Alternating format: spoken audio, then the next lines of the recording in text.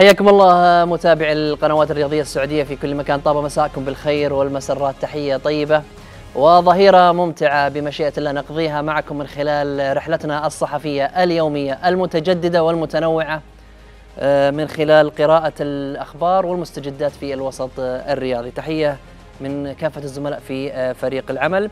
اليوم حلقة جديدة وقراءة آه، جديدة لكل المستجدات في الوسط الرياضي السعودي الساخن. أمس النصر ودع من آه، دوري أبطال آه، آسيا أحد ممثلينا في هذه البطولة. حظا وافرا لكل النصراويين حظا وافرا للوطن كنا نمني النفس ونتمنى ونتأمل تأهل النصر لدور الأربعة.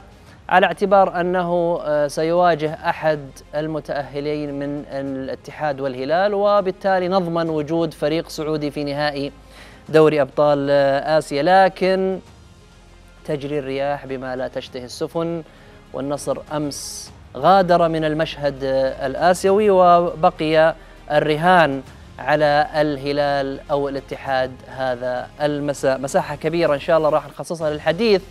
عن هاتين الموقعتين موقعة ال- النصر أمام السد القطري وأيضا الهلال أمام الاتحاد في الكلاسيكو الآسيوي الكبير. نبدأ آه، حلقتنا بالسؤال قبل السؤال أذكركم بحساباتنا في مواقع التواصل الاجتماعي آه، أولا آه، في موقع القنوات الرياضية السعودية حساب القنوات الرياضية السعودية أيضا هاشتاج البرنامج اللي من خلاله نسعد ونرحب بكل الآراء والملاحظات. نشوف سؤالنا لهذا اليوم.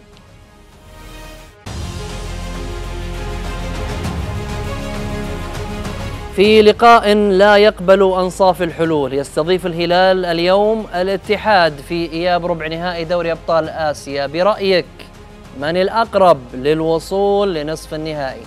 اليوم خليناها لكم خيارين فقط لأن أساسا ما في إلا الخيارين الهلال أو الاتحاد.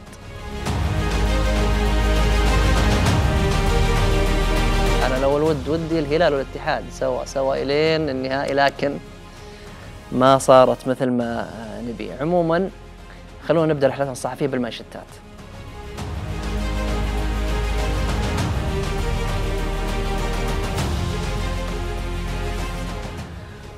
في الجزيرة الفيصل رئيسا للاتحاد العربي حتى عام 2022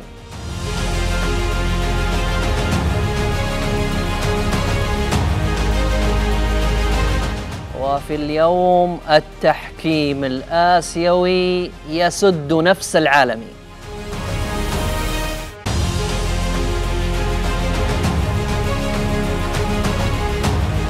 إلى مكة محيط الرعب يجذب آسيا لقمة الهلال والاتحاد.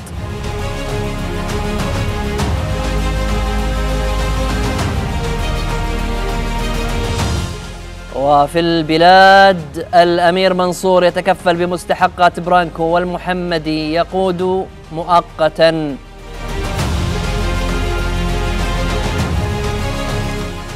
ومن الشأن الأهلاوي الساخن إلى عنوان جديد في الاقتصادية حديث لبن مساعد. سأشتري عقار شيفيلد كي أتفادى خطأ من سبقني.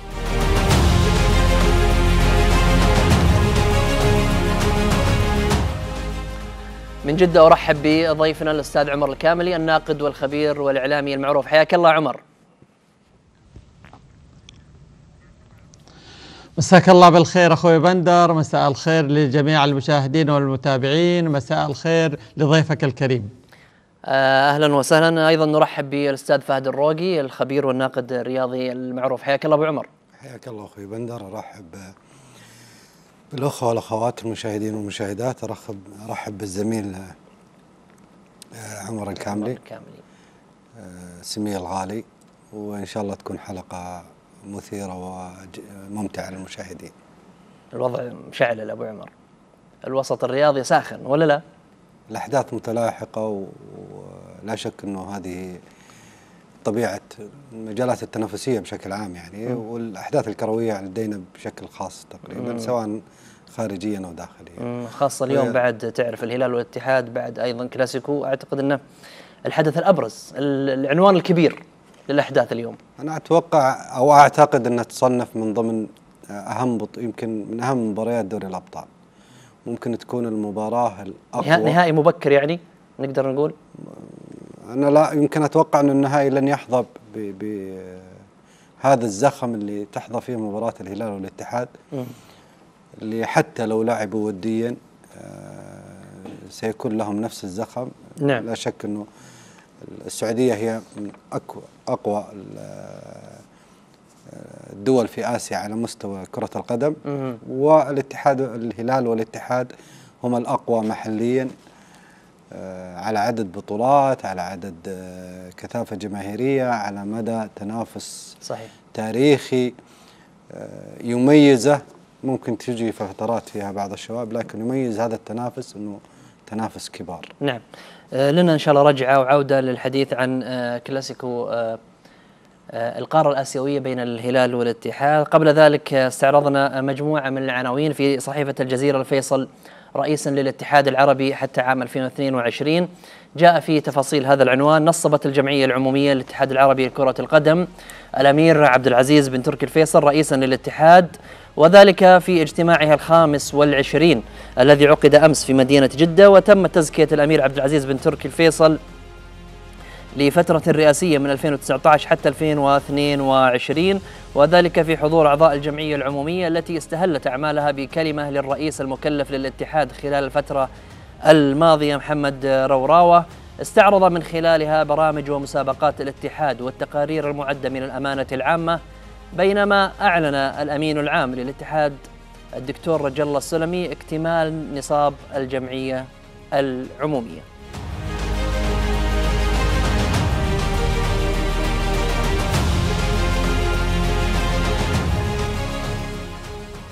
عمر الكاملي مسؤولية جديدة تضاف لمسؤولية الأمير الشاب قائد مسيرتنا الرياضية الأمير عبد العزيز بن تركي الفيصل.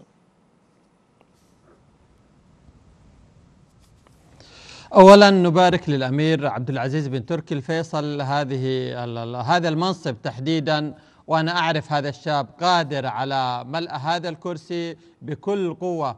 هو شخصية شبابية رياضية قادرة على إكمال مسيرة الأمير ال- ال- المعالي المستشار تركي آل الشيخ خاصة وأن تركي آل الشيخ صنع حراكا غير طبيعيا. في هذا المنصب لفترة محددة والآن ال- الدور كبير والمهمة آه ليست بالسهلة على الأمير عبد العزيز بن تركي. أمامه يمكن عقبة كبيرة خاصة في أي شيء عربي. بكل أمانة الاتحاد العربي لابد أن يكون اتحاد قوي اتحاد له مكانة. البطولات العربية لابد أن تعود كما آه، كانت خاصة في العام السابق. كانت بطولة مهمة وبطولة قوية وكانت متابعة من الجميع. أتمنى في في هذا الموسم تحديدا ت- تنال هذه البطولة ال- ال- الضخم الكبير والمتابعة والاهتمام وأن يكون هناك للمنتخبات كذلك دور آخر سواء المنتخبات المنتخب الأول أو المنتخب لل- العربية وأن يكون هناك حراك حقيقي وواقعي ومنطقي ويحقق أهدافه. نعم. أبو عمر آه ثقة آه جديدة. آه للأمير عبد العزيز الفيصل. آه وأيضا مسؤولية جديدة آه خطوة جديدة نحو الأمام. وأهل لها. صحيح. كل ما تذكرنا أو كل ما جاء طاري ال- الاتحاد السعودي لكره الاتحاد العربي لكرة القدم تذكر المغفور له بإذن الله الأمير فيصل بن فهد. رحمة الله عليه اللي له قول مأثور. الاتحاد العربي وجد ليبقى ووجد ليتطور ويستمر. آه، حقيقة طبعا يعتبر الأمير عبد العزيز بن تركي الفيصل هو سادس آه، شخصية تستلم آه، رئاسة الاتحاد العربي. لكرة القدم. ولنا الشرف أنه كل هذه الشخصيات من المملكة العربية السعودية بدءا من الأمير فيصل بن فهد نعم. ثم الأمير سلطان بن فهد والأمير نواف بن فيصل. و الأمير تركي بن خالد ثم معالي المستشار تركي آل الشيخ والآن الأمير عبد العزيز بن تركي الفيصل. يعجبني في هذا الرجل آه، رغم أنه آه، شاب. إلا أنه فيه سمات الهدوء وهي سمات آه، رائعة أو سمات تتطلب وجودها في في القائد. من يريد أن يعمل يغلف عمله بصمت ويترك عمله هو من يتحدث عنه. نعم. بإذن الله يعني كلنا ثقة بأن الأمير عبد العزيز قادر على قيادة الاتحاد العربي إلى أفاق أرحب وأوسع خصوصا أنه من الصعب جدا امامه معوقات كبيره كبيرة جدا بالذات المعوقات الجغرافية. لا يمكن أو من الصعوبة انه يكون آه، عندك رزنامة لبلدان في قارتين مختلفتين تستطيع آه، أن تخلق منها مشاركة فعالة. نعم. آه، مثل هذه المعوقة إضافة إلى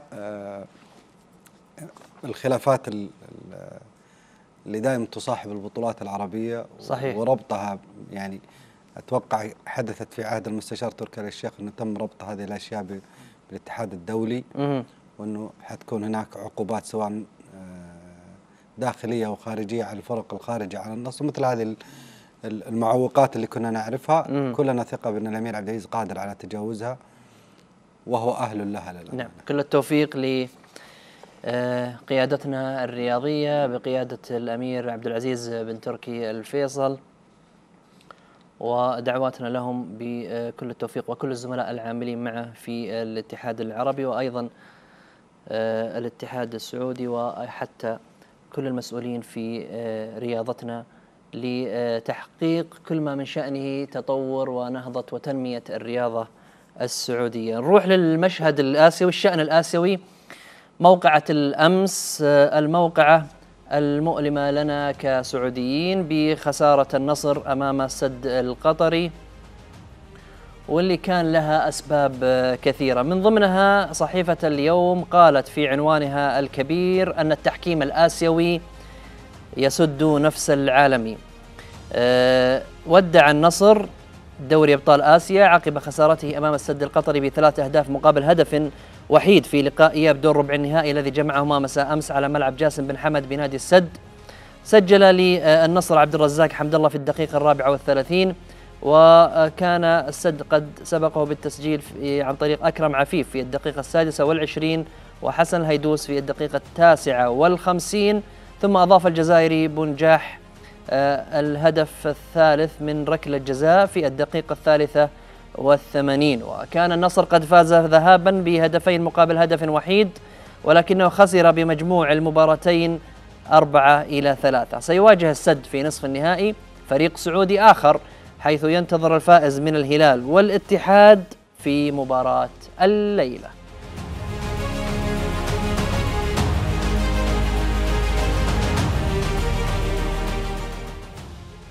فهد الروقي النصر ودع من دوري أبطال آسيا. كنا نتمنى مواصلة المسيرة. على الأقل نضمن فريق سعودي في نهائي دوري أبطال آسيا. أنا بالنسبة لي هذا الخروج غير لا أعتبره مفاجأة. ومتوقع بالنسبة لي. ليش؟ أه، تحدثت معك بندر قبل بعد مباراة النصر والسد مباراة الذهاب على هذه الطاولة. نعم. وكان النصر فايز وقتها 2-1 وقلت ان النتيجة غير مطمئنة. إضافة إلى أن النصر يفتقد إلى خبرة المواجهات الدولية أو الكبيرة في مثل هذا افتقاده للعنصر المحلي القوي المميز. ثم النقطة الأهم أن النصر يعتبر آه، فريقان. فريق قوي مرعب للخصوم. يتمثل في الخط الأمامي بوجود جوليانو مرابط حمد الله. وفريق هش ضعيف من السهل ضربة في المنطقة الخلفية. عادة يعني عبد الله الخيبري وعبد الرحمن الدوسري نعم. محاور نعم. أسماء شابة جيدة لكن لابد انه يكون فيه نوع من أنواع الازدواجية والتكاملية بمعنى انه يكون لابد يكون في خط العمق لاعب خبير أتكلم على المنطقة المحورية المركزية منطقة محور الارتكاز هذا عدا أنه فيتوريا آه بالأمس يعني لو تغاضينا عن موضوع الأخطاء التحكيمية الاسيويه اللي مش النصر كان آخر ضحية الكرة السعودية تعاني الويل من هذا الموضوع من سنوات طويلة وتراكمية وأخطاء تراكمية ولا آه، يعني التاريخ يشهد بأنه واحدة من أكبر المجازر اللي حدثت في كرة القدم والأخطاء التحكيمية كانت نيشيمورا في مباراة الهلال والسيدني اللي قتلت فيها العدالة ونحرت. وللأسف الشديد في ذاك الوقت آه، إلى إلى وقت قريب مارس كثير من الإعلام السعودي بل حتى مسؤولين التغني بهذا الحكم لدرجة أنه رئيس لجنة حكام في اتحاد قدم سعودي يلوم محلل تحكيم سعودي على انتقاد نيشيمورا اللي نحر فريق سعودي. يعني شفت كيف المعادلة كيف تمشي. ثم وضعت آه، عبارات التمجيد وأنه هذا حكم العدالة.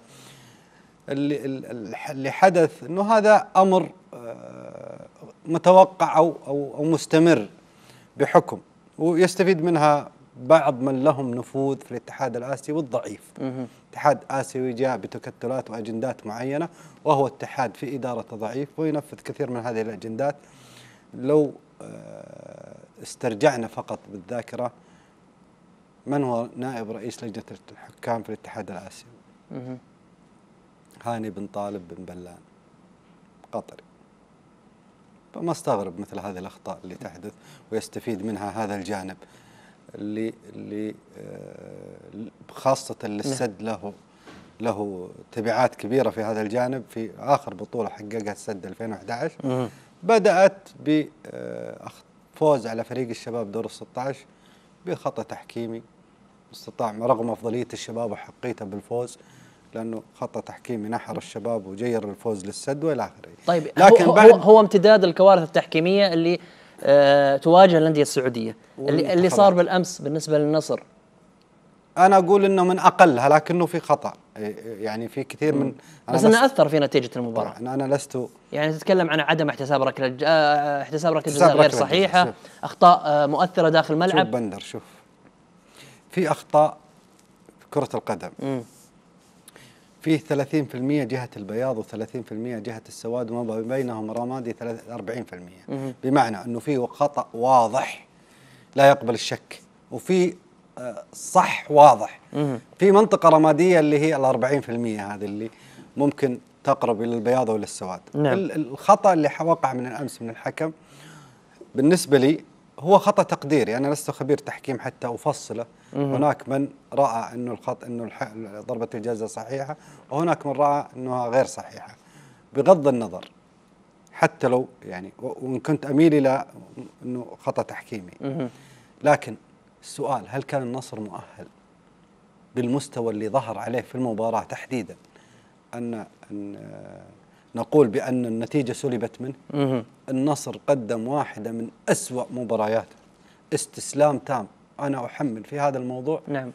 فيتوريا تحدثت المرة السابقة معك إنه فيتوريا ترى ارتكب أخطاء في مباراة النصر. مم. الذهاب وأن آه، الفوز يعني يخفي هذه الأخطاء. طيب عمر الكاملي أسألك سؤال آه، جوهري. لماذا خرج النصر من دوري أبطال آسيا؟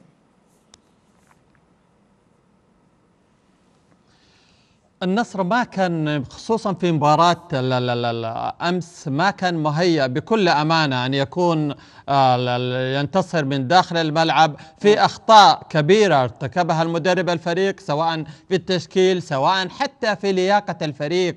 كانت يمكن حتى الدقيقة 90 ونادي السد هو المسيطر. نعم هناك أخطاء أخطاء وتمثل 80% من السواد يا فهد آه، و20% من البياض. آه، أخطاء تحكيمية خصوصا ضربة الجزاء. بلنتي ما كان مع الأسف الجانب ما هو المظلم؟ الجانب الظالم. فكانت ضربة الجزاء هي اللي غيرت مسيرة المباراة. 2-1 كانت حتمتد للوقت الإضافي ومن ثم نعم. ضربات الترجيح. لكن مع الأسف النصر ما كان في يومه وما أدى مباراة تليق بمكانة وسمعة النصر. نقول هرد لك للنصر والجايات أفضل. النصر فريق كبير النصر سواء بالأجانب الموجودين قادرين على التعويض في في القادم الأيام خاصة أنهم مشاركين في البطولة الآسيوية مستقبلا. وكذلك لديهم مهام كبيرة بدءا من الدوري وكأس الملك إلى غيرها. النصر بالأمس بصراحة وإذا استمر على هذا المنوال في الدوري سيذهب يمكن لمراكز متأخرة خاصة في ظل آه، يمكن الاعتماد على دفاع غير منظم دفاع نعم. متوسط الدفاع حتى الحارس لم يكن ذلك الحارس أنا وليد عبد الله بكل أمانة أراه أفضل من الحارس الموجود والذي يمثل اللاعب نعم. الاسيوي الرابع عمر. لكن مع الأسف النصر لابد أن يبحث عن خط دفاع قوي وأن يكون في مستوى الحدث ومستوى الدوري خاصة أنه بطل آخر مناسبة. جميل. آه آه يعني أنا أنا صراحة أنا صراحة يعني أمس بعد خسارة النصر آه لاحظت شيء ما أدري إذا أنتم لاحظتوه معاي ولا لا إن الرأي العام النصراوي مع وجود خطأ مؤثر من الحكم وانه ظلم النصر وتضرر منه النصر بنتيجة أمس إلا أنه ما رمى كل الجمل بما حمل على الحكم. يعني اعترفوا اعتراف صريح بأن الفريق لم يظهر بالشكل المطلوب أن هناك أخطاء أن حتى اللاعبين الأجانب نصراويين نصراويين أنا تابعتهم إعلاميين وجماهير أمس ردة الفعل آه، قالوا أن حتى اللاعبين الأجانب اللي كنا نراهن عليهم حمد الله جوليانو آه، مرابط ما كانوا في يومهم. وبالتالي هذا اعتراف صريح بأن النصر أمس لم يقدم ما يشفع له بالفوز. هذا يحسب للنصر هذا يحسب للرأي العام النصراوي. ما كبروا الموضوع وضخموه ورموه على التحكيم وأن هناك ظلم مع أن هناك ظلم بالفعل يعني لكن بالفعل النصراويين كانوا متعقلين مع ردة الفعل والتعامل مع هذه الخسارة. هذه يحسب للنصر يا عمر ولا لا؟ للنصراويين والرأي العام النصراوي. أكيد من المؤكد من المؤكد هذا يحسب للنصر سواء حتى الجماهير النصر ليست بذلك الغضب الكبير من حكم المباراة لأن النصر لم يكن في يومه. لو لو سجل جوليانو الفرص المحققة التي سنحت له لانتصر النصر مبكرا. لكن نعم. هناك إهدار للفرص عدم تنظيم داخل الملعب الأظهرة مفككة. يعني لو شفنا الهلال السد متسيد حتى الدقيقة 95 مع الأسف وهذا يتحملها المدرب بنسبة 90% آه، إيش رأيك أبو عمر؟ يعني أنا أعطيك إياها باختصار وأكون صريح معكم مع المشاهدين، أنا أمس بصراحه يعني رفعت القبعة على الراي العام النصراوي. ما شفت بكائيات. شفت تعقل. ما شفت ما شفت ما شفت ناس يعني تغالط الحقائق. قالوا مثلا إحنا تضررنا من الحكم وإحنا خرجنا من الحكم وكبرنا الموضوع. لا. أولا باعتراف صريح من نصراوي أنفسهم قالوا إن إحنا خسرنا المباراة لأن إحنا ما كنا في الفورمة. وش يسمح لي بس أوضح لأخوي عمر. في مسألة البياض والسواد أنا أتكلم عن أخطاء التحكيم بشكل عام مش المباراه إنه في خطأ واضح يمثل 30 أخطاء واضحة تمثل 30% بياض إن تكون أخطاء صحيحة يعني قرارات صحيحة مم. من الحكم. وفي 30% تمثل سواد وفي 40% آه، رمادية. يعني الخطأ مش واضح آه، بمعنى إنه الحكم آه، يعتمد في تقديره. يعني في ضربة جزاء البارحة. في أي منطقة؟ تحطها في الرمادية يعني في ممكن حكم يحسبها يعني يعني يعني تحتمل أكثر من رأي. إيه ممكن حكم يحسبها ممكن حكم ما يحسبها. يا أبو عمر. في اسمح لي بس يا أبو عمر. أمس حتى الهلاليين والأهلاويين والاتحاديين يقولون إنها ركلة جزاء إنها غير صحيحة. في شيء اسمه وضوح. يعني مو بس النصراويين. واضحه وضوح الشمس. انت أنا لا أنا أقول لك إياها بصريح العبارة. طيب. ركلة الجزاء أمس أنا قلت لك أنا اللي تضرر منها النصر مصلعة. طيب عيني عينك واضحة. اسمعني. أنا قلت لك أنا أنا كشخص أروح في اتجاه إنها ضربة جزاء. يعني مش ضربة جزاء. أنا أروح في هذا الاتجاه. لكن لم يعني لو ليش أنا أقول لك إنه مسألة موضوع إنه كيف تحسبها في اللون الرمادي؟ إنه ممكن حكم يحسبها وممكن حكم ما يحسبها. لأنه الحكم لو كان يقر بهذه اللقطات إنه مجرد الاحتكاك يحسب ضربة جزاء لا يعني لا احتسب ضربه جزاء آه، أو تحايل. حاول يعمل مهاجم السد بغداد بنجاح في الشوط الأول والحكم تغ يعني ما توقف عند هذه اللقطة. في لقطة الأمس تجي اللقطة أنا أقول لك ليش إنه في حكم يحسبها وما حكم ما يحسبها. إنه هل اللاعب آه، مادو احتك بأكرم عفيف قبل بعادل الكرة أو أو أو بعده؟ اللقطة كانت جزئيتها بسيطة جدا. يعني أنا أقول لك في حكي خصوصا إنه عدم وجود تقنية الفار ساهم في هذا الخطأ. مم. متى أنا أقول فريق نحر تحكيميا أو ظلم تحكيميا؟ متى؟ لما يكون الفريق صاحب أفضلية وأنت انتزعت هذه الأفضلية منه. بالأمس النصر لا يستحق حتى الخروج بالتعادل. بس حتى ولو هذا خطأ مؤثر. معلش. أنت تتكلم عن أخطاء مؤثرة في عالم كرة جزء القدم. من جزء من لعبة ركلة الجزاء احتسابها جزء وعدم احتسابها. مهما كان ياثر في جزء- نتيجة جزء من المباراة. لعبة كرة القدم بدليل النصر أيضا استفاد من أخطاء التحكيم في مرحلة المجموعات ونعرف إنه تسجل هدف غير صحيح نهائيا. طب خلي ممكن- خلي خلي ممكن لو ما تسجل النصر ما يتأهل طب خلينا خلينا. النقطة اللي بعدها. ما شاهدنا أمس آه، يعني بوجهة نظرك الموضوع. أنا أشوف العكس. مش مو التضخيم. أنا أرى شوف النصر فنيا أنا أرى إنه غير يعني يعتبر إنجاز وصوله إلى هذه المرحلة. سبب من أسباب وصوله إلى هذه المرحلة ذكاء الإدارة النصراويه السابقة والحالية في آه، آه، عدم ممارسة الضغوط على ال- الفريق وأنه الفريق غير مطالب بتحقيق البطولة. مع العلم أنه ما يحدث داخل الفريق يدل على انه الفريق بدأ فعلا يهت- خاصة في في دور ال 16 أنه بدأ الفريق يشتغل على موضوع أنه اصبحت ضمن أجندته. لكن من حقه طبيعي من حقه طيب. لا شك إنه كل فريق مشارك في البطولة من حقه إنه بس بس كيف. كيف تقول إنه غير مؤهل لتحقيق آسيا أبو عمر أنت تتكلم عن فنياً. إيش فنياً. فنيا هو أفضل فريق سعودي لا تتكلم في بطل آسيا. الدوري نرجع نفس بطل الاسطوانه الدوري نرجع السعودي. للأسطوانة السابقة بنترك موضوع بطولة الدوري والجانب الفني العام الماضي إذا بتتكلم على الجوانب الفنية المنافس على اللقب تغنى به تغنت به الركبان على المستويات. ونعرف الظروف اللي أدت إلى سقوط هذا الفريق اللي تغنت به الركبان واللي صاحب أفضل انطلاقه في تاريخ الدوري السعودي وصاحب المستويات المبهرة اللي حتى والحق ما شهدت به الأعداء حتى خصومة تغنوا به. ونعرف كيف كيف- ماذا حدث في وقتها وكيف يقيلوا طيب. رؤساء لجان تحكيم والى. تناقشنا في الماضي. في خل خلينا خل- في اللي صار أمس. أنا أتكلم أنت النصر- تقول أنت تقول النصر أمس ما, شفت أمس ردة فعل ولا؟ النصر مصدر قوته الأساسية. عشان أقول لك غير مؤهل تحقيق بطولة آسيا وقلتها المرة الم- مصدر قوته الأساسية ثمانية اجانب اللي كان معه في الموسم الماضي. تقليص هذا العدد إلى أقل من آه، تقريبا ما يقارب الربع أو الثلث واعتماد النصر على العنصر المحلي النصر عنصر عنده عنده جاب كبير جدا بين اللاعب الأجنبي واللاعب المحلي معليش يا أبو عمر على أساس أن الهلال يحقق أبطال آسيا كل سنة على أساس أن الاتحاد يحققها كل سنة يا عزيزي، على أساس أن. الأهلي كل الأندية يا رجل هذا أكبر كل الأندية السعودية كلهم فشلوا في. تحقيق دوري. أبطال آسيا خلينا نجيبها من الأخير نجيبها من الأخير مو بصحيح مو بصحيح ولا تأخذ؟ موقف الضدية لا، كيف مو بصحيح؟ لا أنت الآن يا أخي لغة واجب. اسمعني تعال، بندر. لغة الأرقام. أنت واجبك تدافع عن لغة الأرقام أنا أنا ما دافع عن النادي على أنا ما دافع عن حد أندية أنا. دافع عن الحق أنا أقول حق. أنا أقول الكلام فريق الصحيح من الثمانية. 2005 يا أبو عمر من 2005 اترك إلى من الان بدايتها. 14 سنة داخلين في السنة 15 ولا فريق سعودي نجح في دوري أبطال آسيا تأهلوا تأهلوا تأهلوا اللي تأهل ونافس. إلى ليه في النهائي؟ اللي تأهل إلى النهائي وما حقق البطولة مثل اللي غادر لا لا دور. المجموعات لا لا مو بصحيح كيف مو بصحيح؟ هذا مو برا هذا مو أبغى مو برأي منجز. سعودي أبغى اسمعني، منجز. سعودي أنا-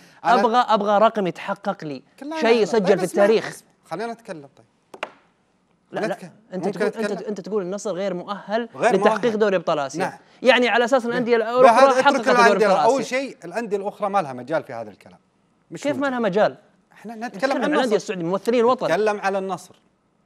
الرأي الفني في النصر. أنا أنا جالس أربط الموضوع. ال- ال- الآن هذا له باب آخر. يعني نتكلم هروب للأمام. هذا له باب. أنا نتكلم فنيا النصر غير مؤهل تحقق دوري ابطال اسيا العنصر المحلي عنده ضعيف جدا. مش ضعيف جدا. لا يتوازى مع إمكانيات ثلاثة لاعبين أجانب. هو مع خمسة آخرين في الموسم الماضي كان سبب ارتفاع مستوى النصر الكبير. الجاب الكبير بين مستوى اللاعب المحلي ومستوى اللاعب الأجنبي في النصر نعم. هو آه، أضعف الفريق فنيا.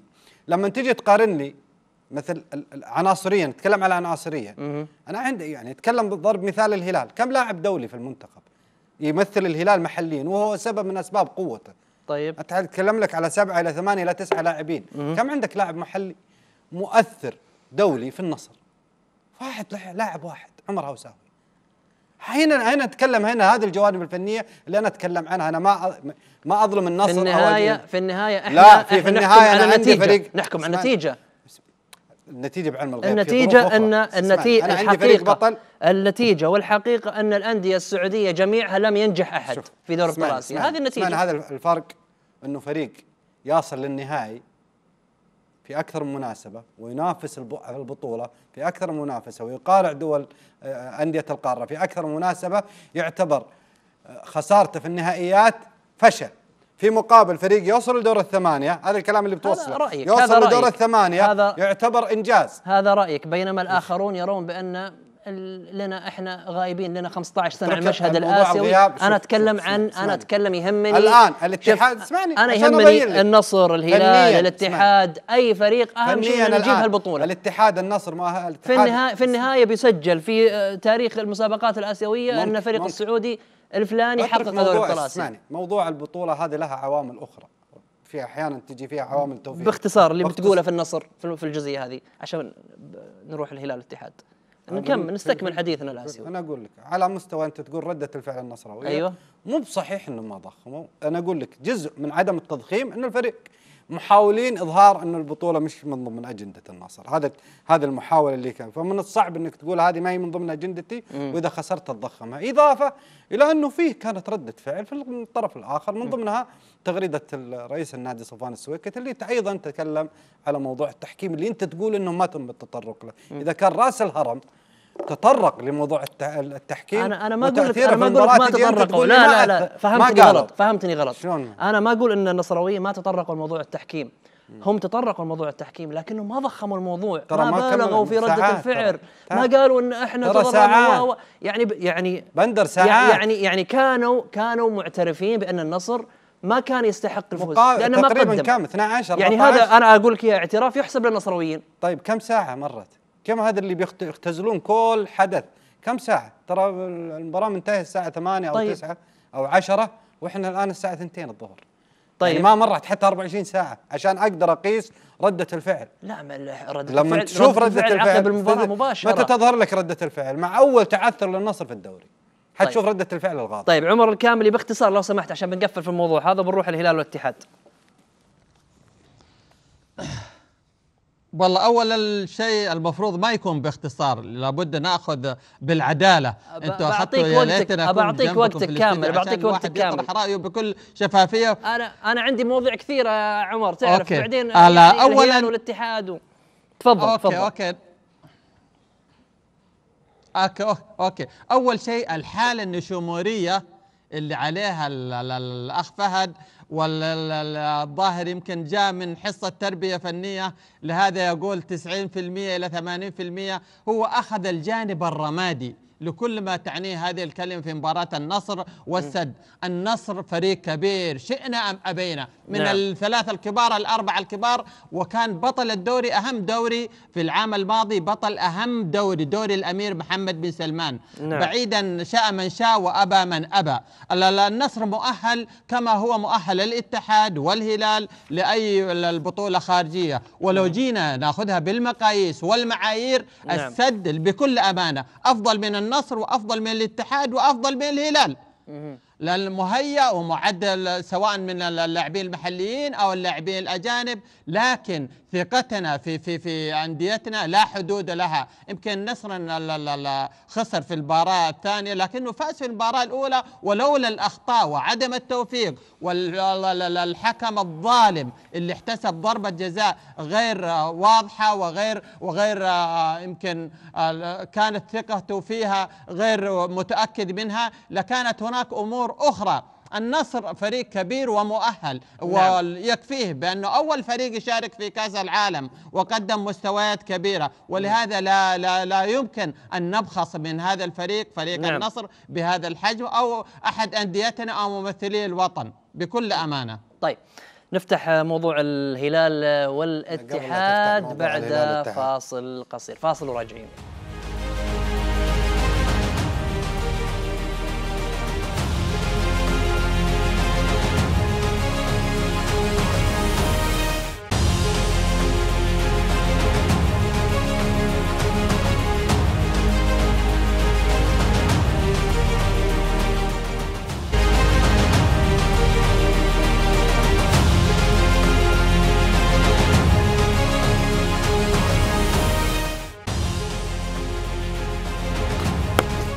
حياكم الله متابعينا في الجزء الثاني من حلقتنا آه، لهذا اليوم والحديث آه، عن كلاسيكو الكرة الآسيوية الهلال آه، والاتحاد في صحيفة مكة. استعرضنا قبل قليل محيط الرعب يجذب آسيا لقمة الهلال والاتحاد. جاء في التفاصيل يبلغ الصراع أشده بين الهلال والاتحاد عندما يلتقيان اليوم في ملعب جامعة الملك سعود بالرياض. محيط الرعب بإياب دور ربع نهائي لدوري أبطال آسيا لكرة القدم. سعيا للوصول إلى نصف النهائي بعد أن انتهى لقاء الذهاب الذي جرى على ملعب مدينة الملك عبد الله الرياضية بالتعادل السلبي. كنتيجة تبدو مريحة قليلا للاتحاد مقارنة بضيف بمضيفه الهلال خاصة وأن الحسابات تضع الهلال في خانة المطالب بتحقيق الفوز. إن أراد التأهل مباشرة أو جر المباراة إلى التعادل السلبي ومن ثم الفصل في نتيجتها خلال الشوطين الإضافيين وركلات الترجيح يعني يبحث الاتحاد عن فوز أو تعادل إيجابي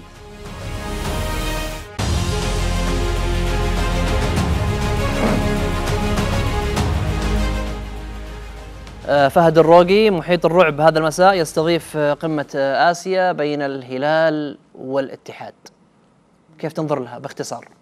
لا قبل ما أدخل في موضوع الكلاسيكو هذا المساء آه، يبدو لي إنه اولا حاولت أوضح للأخ عمر قبل أكثر من مرة لكن يبدو لي إنه يعني فاهمه على قدة.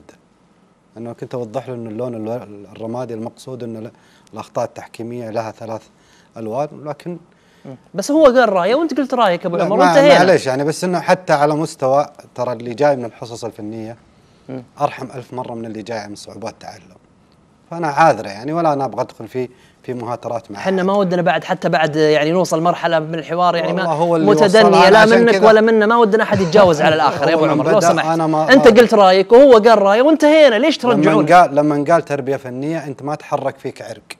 لما رديت عليه وقلت له ما, حصل ما فيها شيء طيب ما فيها شيء. طيب الآن ما فيها شيء بالعكس. لا مهنة عزيزة وشريفة. طيب أنا قلت نفس صعوبات التعلم تربية شريفة لا حتى حتى ولو حتى ولو لا إيش المشكلة؟ الإسقاط نرفضه الإسقاط نرفضه. كان من الاولى أنت ضيفنا على العين والراس عمر كامل ضيفنا على العين والراس. كان من الأولى ترفض من البداية ولا ترفض معي أنا. هو قال راية وأنت قلت رايك يا أبو عمر. فلا توصف لا فلا توصف كلامي بانه لا لا لا لا, لا انت ويا لكم جميعا للجميع. أنا إحنا نناقش أنا كلامي واضح. إحنا نناقش أخبار رياضية حديث رياضي ما زلت في هذا ما زلت في هذا الجانب. ما زلت ولا نزلت. لله الحمد وأربى بنفسي أن أخوض في هذه طيب. هذا النزول. أنا أقول التربية الفنية أرحم من هذا وحنا قبل شوي نتكلم عن النصر أجل الله يعيني على الهلال والاتحاد الحين. ما وش بتقولون بعد ها؟ ما عندي. أنا أتكلم على موضوع ان الهلال والاتحاد لا شك إنه قلتها سابقا هي كلاسيكو. كلاسيكو على مستوى القارة. مباراة الليلة هي مباراة جديدة. بكل ما تعني كلمة جديدة بمعنى. فوز أحد الفريقين سيؤهله خط بطاقة التأهل. التعادل إن كان سلبيا يمدد المباراة لأشواط إضافية. تعادل إيجابي سيؤهل الاتحاد باعتبار قدرته على التسجيل. الأقرب من؟ الأقرب فنيا وعلى الورق. مه.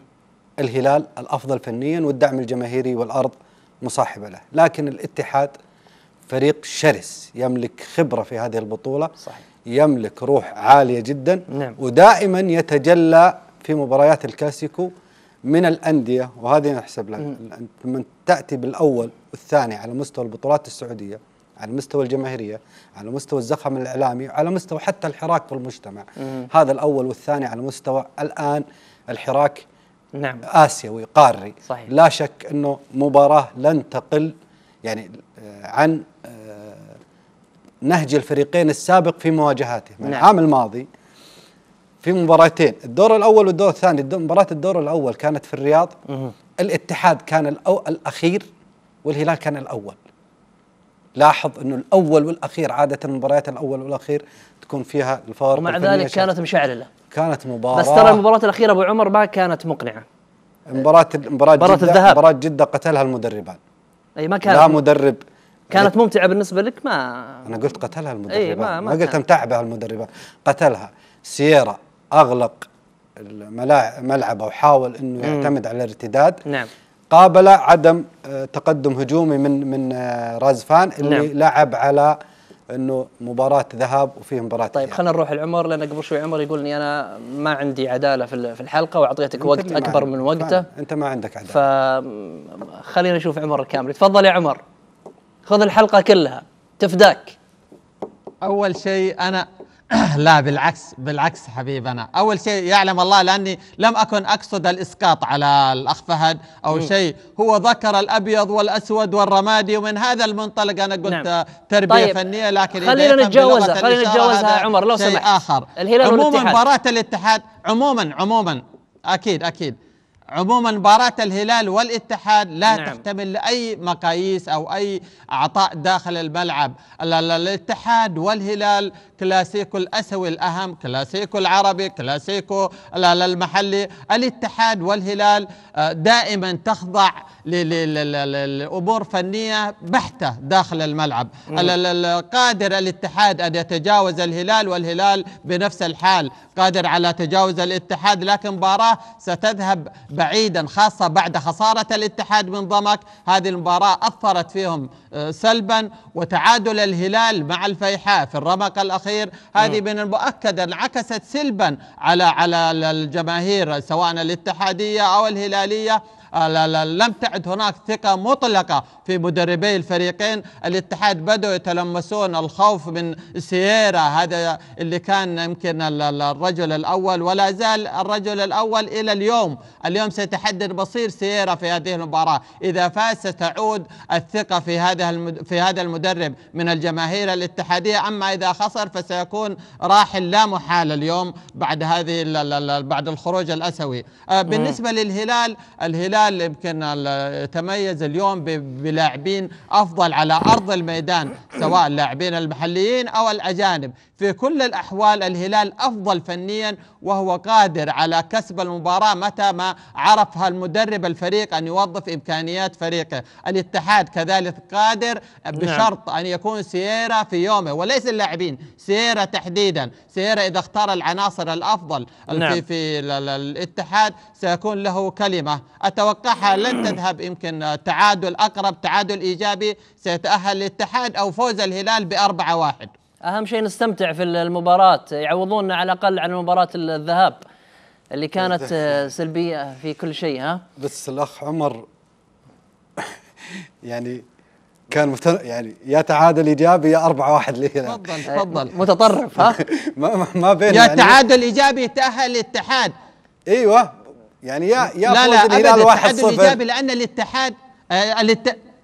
لا يعني يفوز يا الهلال فوز 1 الهلال 0 بنتيجة 2 1 كبيرة. يا تعادل إيجابي لأن الاتحاد لا لا لن تنتهي 1 0 لن تنتهي 1 0 يا تعادل يعني الاتحاد موش 1 0 إمكانياته 1 0 ضعيفة يعني مع 1 كل 0 مع 2 كل 1 احترام لهذا الفريق. متقاربة يعني. والله أنا بالنسبة لي ما تفرق. هلال لا يا. تعادل أهم شيء يا تعادل أهم واحد شيء واحد يا واحد منهم. يحقق البطولة. زعلنا أمس النصر العوض اليوم إن شاء الله في الهلال والاتحاد امس إنهم النصر. لا لا أبو الله النصر. الله؟ العوض امس في النصر لا أنا ما قلت لك أنا كنت متوقع خروجه كيف زعلني أنا لو متوقع خروج بس الهلال بس اليوم ما, ما تحس إنك تضايقت من خروجه؟ يعني كنا نتمنى إن الهلال- النصر يقابل الهلال أو الاتحاد واحد منهم يروح شوف- للنهائي شوف بندر، نقف معه قلبا وقالبا. يعني ندعمه بكل بكل ما نستطيع. حتى يحقق دوري أبطال آسيا اللي شوف- شوف اللي النصر- غاب نسيناها النصر يحتاج لاعبينا إنهم تصبح لديهم خبرة مثل ما كنت أنت الآن، أنت الآن مش أنت قبل خمس سنوات، يعني الآن تضرب من تحت الحزام أيوه تعطي أسئلة ملغمة. الجانب العاطفي لي إني أنا تأثرت شوف ما شوف يا عمر. شوف رجع علي ها شوف. رجع علي الحين لا. لا شلون شلون شوف، يعني تأثرت يا فهد إنه بخسارة النصر شوف لا أنا اسال أي. نادي؟ اسمعني. أنا أنا أنا, أنا- بجاوبك. لما أنا عارف. لما أنا أقول لك هذه مواطن أنا سعودي غيور على الرياضة السعودية بيزعل. طبيعي بيقول أنا أمس تضايقت من خسارة النصر.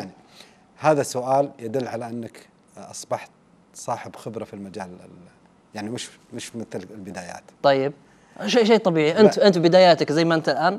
لا أنا انخفض. على خلاص الحين؟ قاعد ألعب بالخبرة أنت وصلت بس. بعدين نزلت ها؟ أنا ألعب على الخبرة بس؟ طيب. ال- الجانب العاطفي المشاعري.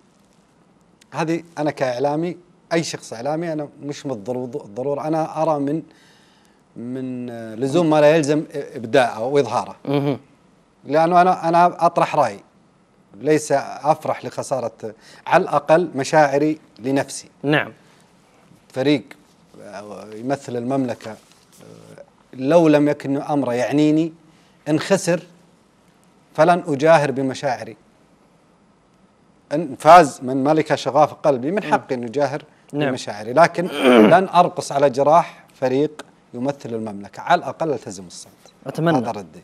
هذا وأتمنى الواقع. هذا الكلام ينطبق على حساباتكم الشخصية في تويتر والكلام للجميع. ليس فقط كلام نردده في البرامج الرياضية أيضا نفس-. ينسحب هذا الأسلوب على على مواقع التواصل الاجتماعي في. صحيح. تويتر كلامك في صحيح. مجالسنا العامة ممتاز ها؟ لا المجالس العامة مو. نجي في البرامج الرياضية قدام التلفزيون لا، ما- ما هي بهذا، شوف، ما هو بالمعيار. ونصير مثاليين لا مو بالمعنى وفي التويتر لا مش مثالي مش شيء مثال لا اولا إن كنت يعني يعني فهد الروقي عنده شخصيتين مش شخصي أنا ترى أضرب مثال ما ما أتكلم عنك أنت يعني مثلا فهد الروقي عنده شخصيتين شخصية في التلفزيون شخصية في تويتر؟ ممكن. ليش لا؟ أجل تعاني من انفصام في الشخصية. لا ما في عامل اللي عامل انفصام الشخصية اللي يكبت. أنا رجل أقول رأيي. وما ما يعبر ها؟ إيه يكبت مشاعره ولا يطلعها. أنا رجل أعبر عن رأيي. أعبر عن رأيي أمس. كل اللي قلته في تويتر أو كتبته في تويتر قلته الآن. ما في أي تناقض بينهم. طيب. الرأي واحد. أما مشاعر الفرحة أو الحزن هذه أمور واضحة. خاصة فيني. طيب. لا تليق بإعلامي نعم. إنه يبدي مشاعر حزنة أو فرحته بخروج فريق. طيب. هذه وجهة نظري. طيب نروح للأهلي. المشهد الأهلاوي ساخن. مكبوب عشاه البارح. والله. طيب. في صحيفة ال- البلاد الأمير منصور يتكفل بمستحقات برانكو والمحمدي يقود مؤقتا. أنهى الأمير منصور بمشعل المشرف العام على فريق كرة القدم بالنادي الأهلي أزمة عقد المدرب الكرواتي برانكو. المدير الفني المقال وكان الأهلي قد أعلن إقالة برانكو بعد الهزيمة أمام الوحدة ضمن منافسات الجولة الثالثة من مسابقة دوري كأس الأمير محمد بن سلمان للمحترفين حيث تكفل الأمير منصور بدفع كامل قيمة الشرط الجزائي في عقد برانكو والتي قد تصل إلى ثمانية ملايين ريال وذلك بعد رفضه تخفيض المبلغ وقد تم تكليف المدرب صالح المحمدي لقيادة الفريق الأول بشكل مؤقت حتى التعاقد مع مدير فني أجنبي خلال الأيام القادمة.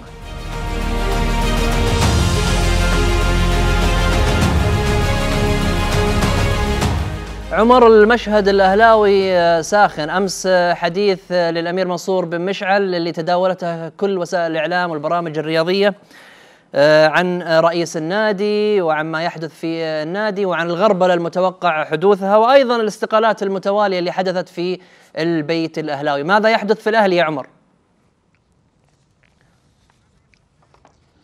أول شيء أنا أختصر ما يحدث يح- ما حدث في الأهلي بالفوضى بكل أمانة أمس تصريح الأمير منصور بن مشعل تصريح خطير جدا سواء على نقل أخبار النادي تسريب ما يحدث داخل الفريق ال- ال- ال- عدم الجدية من بعض اللاعبين رئيس النادي والاتهامات سواء الباشرة أو الغير مباشرة عدم حضوره للنادي آه، سهر اللاعبين حتى آخر المساء. موضوع خطير جدا. سيكون هناك ضحية. يا الأمير منصور بن مشعل يا أحمد الصايغ. لابد أن يذهب أحدهما حتى تنحل مشكلة الأهلي. الأهلي فريق كبير. لابد كان أن يدار ما حدث في, في الأهلي آه، بشكل آه، آه، مختلف تماما داخل البيت الأهلاوي. لكن لن نرى أحمد الصايغ مرة أخرى في, في رئاسة النادي الأهلي. أنا أجزم بأنه ولن نشاهد رئيس يتجرأ في ظل وجود الأمير منصور بن مشعل الذي حمل آه، يمكن كل شيء على عاتقه في هذا الموسم. سيختار هو الرئيس لكن آه، رئيس مرشح لا ما أعتقد خاصة أن دخلنا في المعمعة الدوري. ولهذا الأهلي يمكن آه، وجهته غير واضحة. لابد أن يكون هناك تدخل من الهيئة لحل مشكلة الأهلي بكل أمانة. نعم أبو عمر فهد الروقي الأهلي الوضع مشعل في الأهلي. شوف الأهلي ظهرت أموره في خارج السطح. النصر يشابه ترى على المستوى الإداري ال- يعني الراية مقلوبة في النصر والأهلي. المنطقي إنه رئيس النادي هو السلطة الأعلى. في النصر والأهلي المشرف على كرة القدم هو السلطة الأعلى. فصراع الآن سلطتين. في النصر يبدو فيه نوع من التناغم لكن الحدث غلط. إنه يكون السلطة الأعلى أو الأقوى عند المشرف العام. المفروض إنه هذا رئيسك. في الأهلي ظهر هذا ال- الخلاف ظهر على السطح. الأمير منصور بن مشعل لا شك إنه البارح ارتكب خطأ كارثي في في ظهوره. تصريح الفضائي كان تصريح مزعج لأي اهلاوي الحل قال الأخ عمر إنه أحد الرجلين سيرحل. وهذا الحل المنطقي. أو الحل الآني. لكن إذا أراد الأهلي لاحظ أن الأهلي خلال السنوات الماضية تتكلم على عناصر أجنبية عناصر محلية آه، أجهزة فنية الأهلي يمتلك كل مقومات الفريق البطل. اذا لماذا لا يحقق ما يتوازى مع هذه الإمكانيات المادية الفنية العناصرية؟ لأن الأهلي يعاني من عقدتين عقدة الرمزية وعقدة التبعية. الرمزية إنه وضع أفراد فوق مستوى الكيان أو فوق مصلحة الكيان، إذا تعارضت مصلحة الكيان مع الأشخاص مم. فيفضلون الأشخاص على الكيان. والتبعية التبعية أصبح آه، من يقود الرأي الأهلاوي مهم. ويؤثر في الجماهير الأهلي الأهلي هو الخيار الثاني.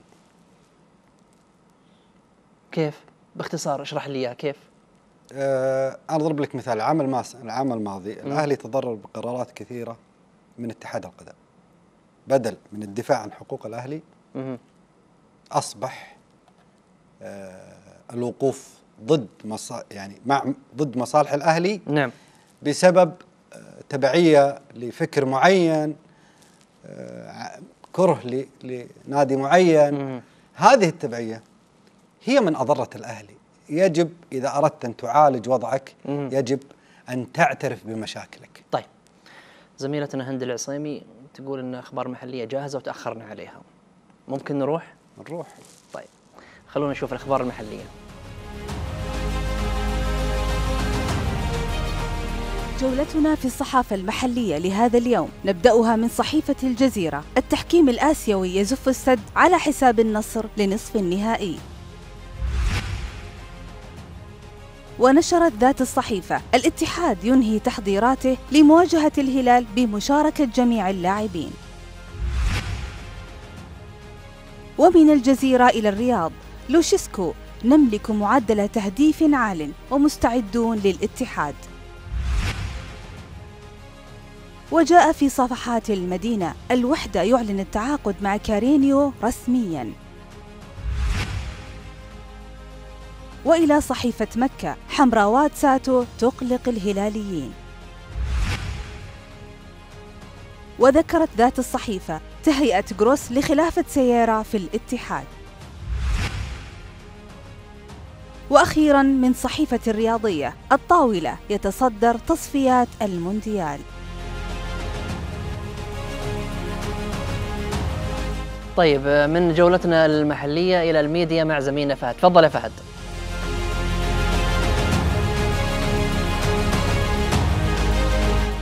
شكرا لك زميلي بندر. أهلا وسهلا فيكم مشاهدينا. ميديا اليوم بنكهة الهلال والاتحاد. نبدأها من الهلال وتحديدا مع جوميز اللي قابل بعض الأطفال في النادي وتكلم معاهم بالعربي. أحد الأطفال قال له أنت معلوم عربي؟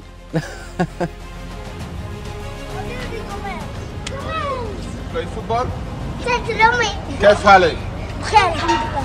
انت معلوم رمي Yes. Score the goal so I will watch you. انت ولد علي الليلة لأول مرة الاتحاد بيلعب في محيط الرعب. خلونا نشوف الأجواء تمرين فريق البارح في نفس الملعب.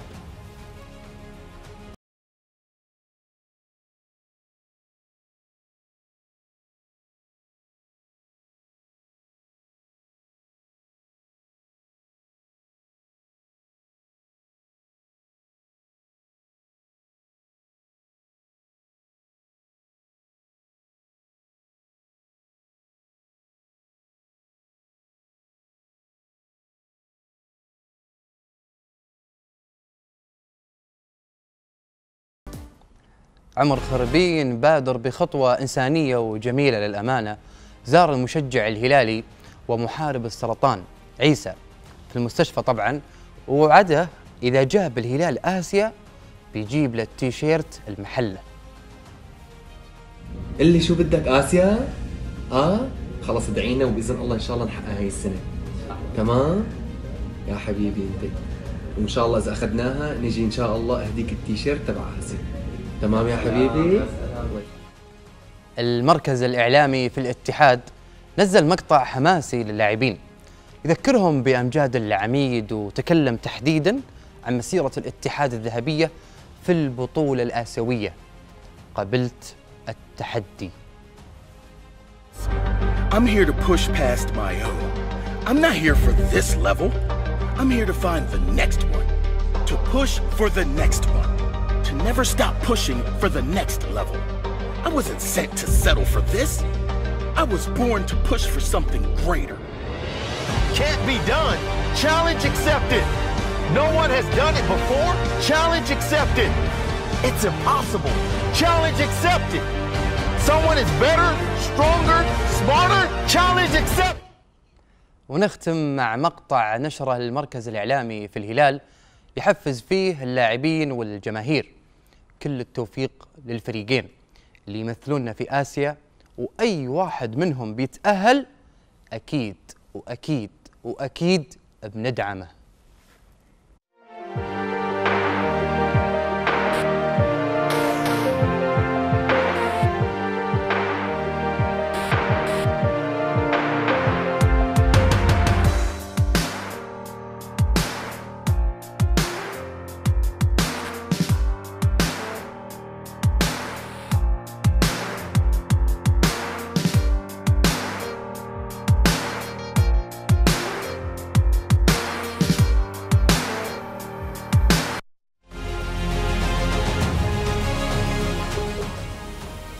طيب نشوف آه، نتيجة آه، سؤالنا اليوم. طبعا جاء السؤال في لقاء آه، لا يقبل آه، أنصاف الحلول. يستضيف الهلال اليوم الاتحاد في إياب ربع نهائي دوري أبطال آسيا. برأيك من الاقرب للوصول نصف النهائي؟ 53% اختاروا الهلال. 47% اختاروا الاتحاد. آه، شارك في هذا التصويت أكثر من 7800 مصوت. عمر الكاملي. طبعا النتيجة ما تعجبك يا عمر صح؟ والله صعبة جدا. لا فارق ضئيل جدا ولهذا أنا أقول لك اللي يتأهل حنقول له ألف ألف مبروك. نعم صحيح. أبو عمر فهد الروقي الاتحاد والهلال. نقول ألف مبروك لأي واحد منهم صح؟ لا شك وندعم. عينين في راس. لا شك. وكلاسيكو ومن, الكرة ومن. الدعم أحيانا الصمت. من الدعم؟ الصمت. الصمت. الهلال الاتحاد أهم شيء واحد يعني إن كنت هلالي والاتحاد تأهل إما أن تدعمه أو تصمت على الأقل. ان كنت اتحادي نعم. والهلال تأهل إما أن تدعمه حتى لو بالصمت. نعم. نفس الشيء ينطبق على بقية ما نلوم الجماهير لكن ألوم بعض بعض ما نبتلي بهم الإعلام. كل التوفيق لممثلين هذا المساء الهلال والاتحاد. شكرا فهد الروقي. شكرا عمر الكاملي. شكرا لكم مشاهدينا. غدا إن شاء الله يتجدد الموعد. الثانية ظهرا. إلى اللقاء.